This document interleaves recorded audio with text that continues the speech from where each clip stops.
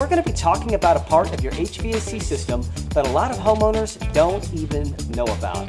What we're talking about is your blower wheel. The HVAC blower wheel is a finely tuned piece of equipment consisting of several blades that work together to move the air throughout your home.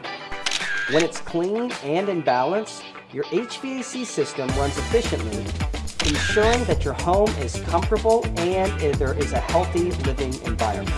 It can, over time, begin to build up debris and dust on your blower wheel. In fact, a study done at the University of Texas A&M found that just one eighth of an inch of dust on your blower wheel can reduce your efficiency on your system by up to 30%. Regular maintenance, including having your blower wheel cleaned, can help extend the life of your HVAC system and improve the indoor air quality of your home.